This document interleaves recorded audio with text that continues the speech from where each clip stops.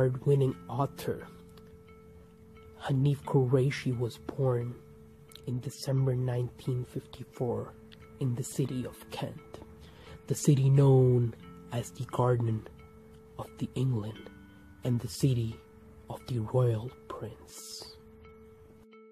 Hanif Kureishi is a British Pakistani playwright, filmmaker, and novelist. Due to his successful career in 2008, The Times included Kureishi in their list of the 50 greatest British writers since 1945. His most successful plays are Outskirts, Birds of Passage, The King and Me, and Borderline. Kureishi also wrote some great novels, the novels such as The Intimacy, The Last Word, The Buddha of Suburbia, and My Ear at His Heart.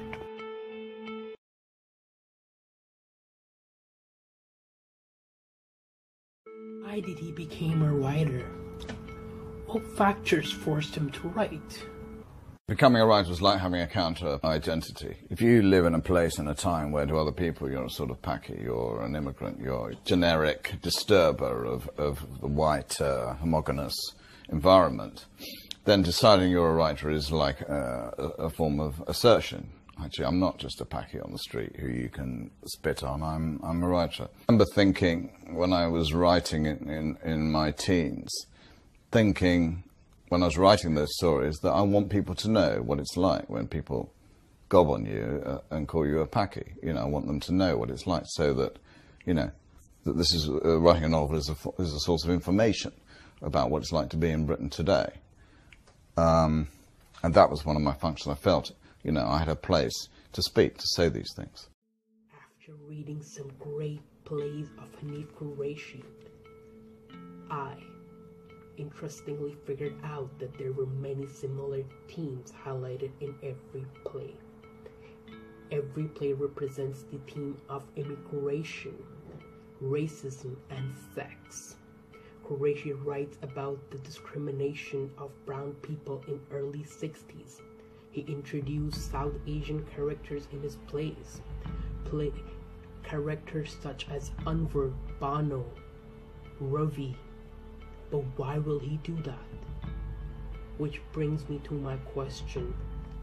How does Kureishi's background influence the plot and character development in his plays?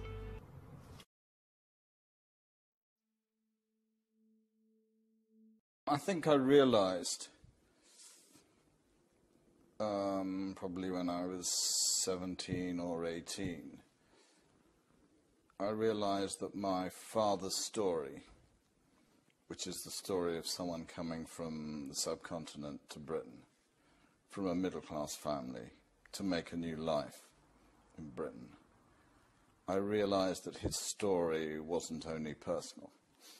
It occurred to me that his story stood for uh, a wider migration, obviously, and that some of the things that we as a family were going through to do with racism, to do with questions about identity, etc., and what I, in particular, was going through at, at school, I began to see that this was a good way of pinning together what was personal, the family, and political, and that this was something that I wanted to do. This was an opportunity. I also saw that um, nobody else was much was writing about this. Um, that this was a huge subject that, in a way, nobody much had noticed yet. That they were about to notice.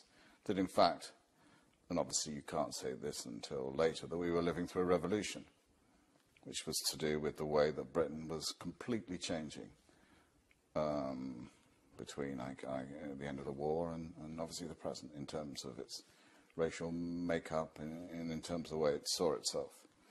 So you might take your family story as being representative.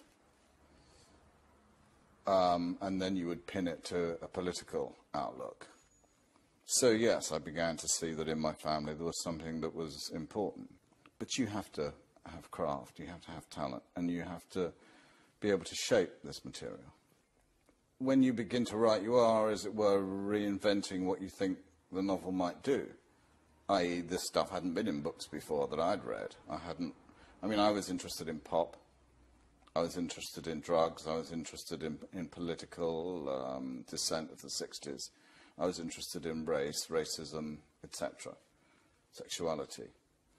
Um, and you think, well, how do I get all this into a book? How do I make this into one story? These are all the, the things that are whirling around in my head.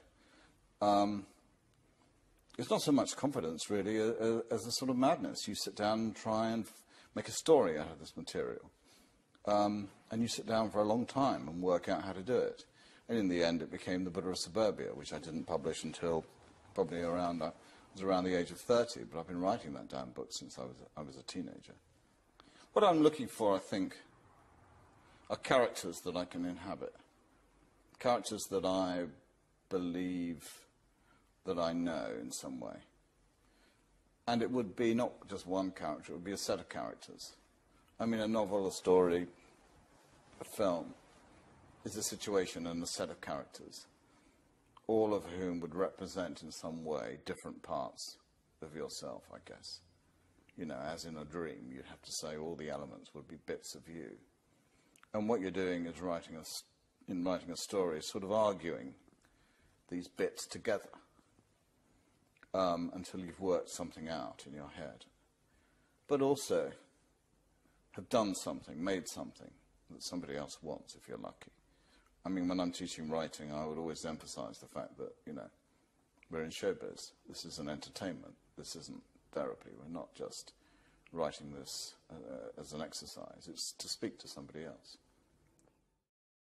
Kureishi most of the time talks about the issues around him.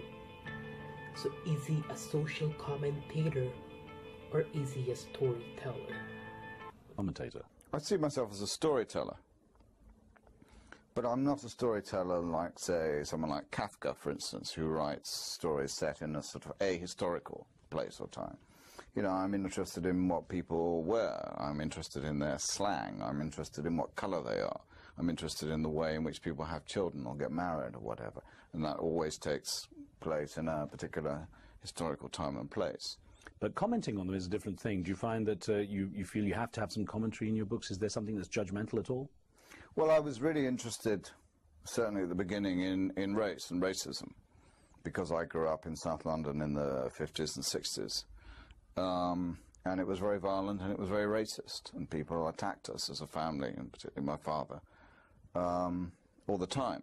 So wanting to write about racism, wanting to tell people about what it was like to be called a Paki every single day was one of my um, one of the most important things I wanted to do. Um, but I don't. I no longer think of that as being my, my, my, point. In fact, I don't even know what my point is. The most common element in his place is broken family. Why is that? I write a lot about families. And families change all the time. The whole idea of the family changes all the time. When I was a kid, mostly families were one small unit, two parents, two kids. Um, and now the whole thing is, is in motion. There are lesbians having children, there are gay families, there are huge extended families. The fa whole family idea is creatively moving on the whole time. And if you're a writer and you're interested in these central or substantial human relationships, then you try and track that and map that. Kureishi wrote some outstanding plays in which he highlighted the issue of mixed marriages. Was he influenced by his own experience? Indian roots, was born in Pakistan, and uh, an English mother. Um, that racial mix would have been very unusual at that time. Did you were you very aware of that? I mean, at a very early age. I was made aware of the fact that I was the result of a, what they called a mixed marriage, though, of course, all marriages are mixed in all sorts of ways, as you know. I was made aware of that because of um, other people made me aware of it. So, uh, as soon as you go to school, people start calling you names and so on, and suddenly you think I'm different to all these other kids. And in what way am I different? What does it mean? And you begin to feel, and indeed you are, really persecuted for ages. And as there weren't other people like me around, I was really the only Asian kid in my in, in my school. Um, I mean, I'm much more confused and messed up than my children are. You know, they're also mixed kids, but they weren't uh, mixed up in the way that I was. It was very violent, very tragic, and very difficult to get through, actually. Your father had come to to Britain after to study law, yeah. uh, and then decided to uh, to drop out of that and go into. He worked for the I think the Pakistani embassy for a while. Yeah. Um, how did he? Uh, how did his character character sort of affect you or influence you? What sort of did you get from him? Well, I was thinking the other day that almost everything that my father was interested in, I'm still interested in. So he set me up, as it were, as I hope to set, set up my own son, three sons, for life by, you know, he loved music, I love music, um, he loved sport, and he really wanted to be a writer, and I still want to be a writer. He was fascinated by writing, by storytelling, and he was a failed writer, unlike me. Um, there was a day when he would become a writer, and he would make money and you know, be a professional writer. That was his dream. But he failed at it. But at least he showed me that it's, you know, discipline, telling stories, making characters, putting jokes in, all that stuff I learned at an early age. You have to learn to write. Someone's got to teach you. I didn't go to school or college to learn to write, but my dad taught me. How did Kureishi also directed a variety of screenplays. Did he enjoy directing or writing his own plays? I'm no good at directing at all, really. I've got lots of friends who are directors, and they're really good at what they do. Um, directing's a public art. You stand in the middle of a film set, there's loads of people there, and they all go, What do you want, Gov? And you have to know, and you're in charge. You're like, um, you know, you're running the British Empire. Um, writers can't do that. Writers are very private.